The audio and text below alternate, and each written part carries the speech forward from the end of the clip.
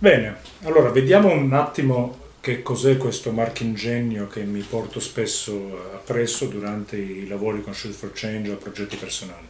È una domanda che mi, mi rivolgono molto spesso perché all'apparenza sembra in effetti uscito da un episodio di Transformer o da qualche altro cartone animato giapponese. In realtà è una macchina fotografica, è un'ulteriore macchina fotografica per le riprese video e, e c'è un microfono direzionale stereo per una eh, migliore cattura dell'audio. Eh, perché questo? Eh, perché a volte, in, eh, lo sappiamo tutti quanti, una fotografia può non bastare e a volte un video può non bastare. La, la sinergia fra due mezzi di comunicazione può essere assolutamente interessante e dare una completezza di racconto nel, nel reportage. La soluzione che ho adottato in realtà è molto semplice e molto banale. Eh, ho, deciso di, di, di sperimentare questa, questo accrocchio, questo transformer, perché la mia reflex, eh, questa Nikon D7000, peraltro splendida, non consente la, la ripresa video. E, eh, ho provato questa P7000 invece che ha una, una ripresa video assolutamente adatta a una trasmissione web quindi in alta definizione, oh, c'era solamente il problema su come collegare i due, i due apparecchi. Ovviamente il tutto viene eh, raccordato attraverso la slitta del flash e l'alloggiamento per la vite sotto, sotto l'ulteriore apparecchio fotografico Stessa cosa per il microfono direzionale stereo che viene alloggiato sul, sulla slitta della, della P7000. Il fulcro di questo sistema è semplicemente questo piccolo raccordo. Io l'ho acquistato per pochi euro su eBay. Eh, è il secondo che provo. Il primo aveva semplicemente questo perno eh, di, di lega, non era neanche di acciaio, e questa rondella che si avvita eh, sotto la, la, macchina fotografica. In realtà dopo due o tre giorni di lavoro neanche troppo intenso si è, si è piegato in due e ho, ho, l'ho dovuto sostituire.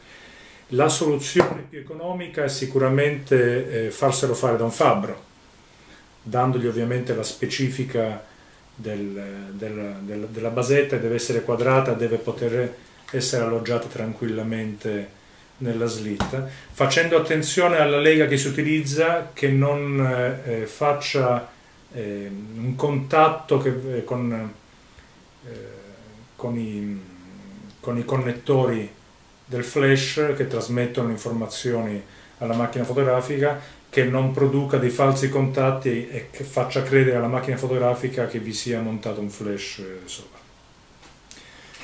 Questo, eh, questo apparecchietto consente appunto l'introduzione del, della basetta sulla slitta portaflash, lo sgancio di questo perno eh, snodato, l'avvitamento sotto la macchina fotografica.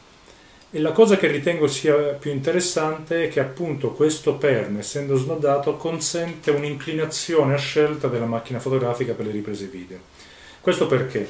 Non, eh, non, tanto con delle focali corte come questo 50 mm, ma io spesso utilizzo in contesti di reportage un'ottica un po' più eh, tendente al grandangolo, il 24-70 o il 17-35.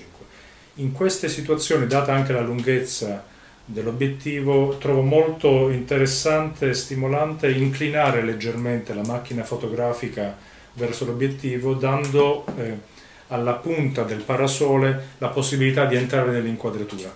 Questo perché? Perché rende maggiormente la sensazione di soggettività del fotografo nella storia e consente a chi guarda il video, normalmente sono video di backstage, non sono produzioni professionali perché la qualità video eh, si avvicina a una eccellente qualità ma sicuramente non arriva a livelli di, di professionalità quindi dicevo, inquadrando uno spicchio del parasole o dell'obiettivo, laddove si riesca, si consente allo, allo spettatore di immergersi completamente nella soggettiva, nel punto di vista del fotografo e capire quello che stavi guardando in quel momento e che stavi scattando. Eh, perché ho scelto il microfono esterno? Beh, è sicuramente la soluzione più, eh, più idonea ad evitare ehm, delle intrusioni di audio non voluti. Normalmente soprattutto quando si è in un contesto di concitazione magari o dove il fotografo deve trovarsi a correre un pochettino si potrebbero verificare delle situazioni di, so, di fiatone, di, di, fiato corto, di, eh, di, rumori magari delle persone eh, retrostanti la macchina fotografica. Con un microfono del genere si evitano, per quanto possibile, nei limiti dell'accettabile quantomeno, rumori che provengono dal retro della macchina fotografica. Eh, ovviamente è importante ricordarsi di collegare lo spinotto alla macchina fotografica, altrimenti si verificherà quello che mi è successo una volta, riprese eccellenti, molto interessanti, ma il video è assolutamente privo di audio.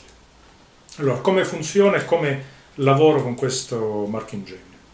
Innanzitutto fisso leggermente il panel no? e lo avvito sotto la P7000. Una volta fatto questo si infila la macchina, si infila il, il perno nell'alloggiamento del flash della D7000, si stringe bene perché il rischio è che cada durante eh, le riprese fotografiche.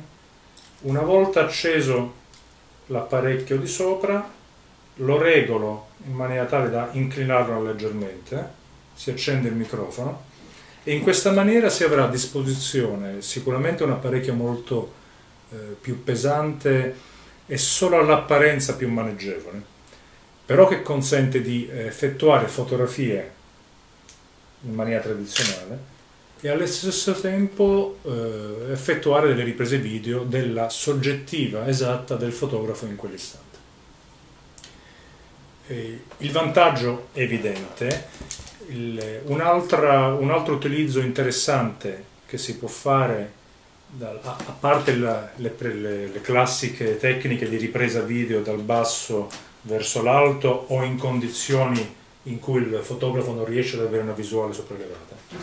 Si può, e questo è consentito grazie a questo snodo adattabile, ruotare la macchina fotografica bene, nella direzione eh no, voluta per effettuare delle riprese che magari si ritengono più interessanti, pur continuando a fotografare una certa eh, mi è capitato per esempio di camminare con dei soggetti che non eh, ritenevo volessero eh, essere fotografati direttamente o, o, comunque per i quali ehm, pensavo fosse più interessante una visuale laterale mentre camminavamo spalla a spalla e però per mantenere la spontaneità del racconto non volevo eh, puntargli tutto il tempo la macchina fotografica e la telecamera sul volto ma camminavo al fianco.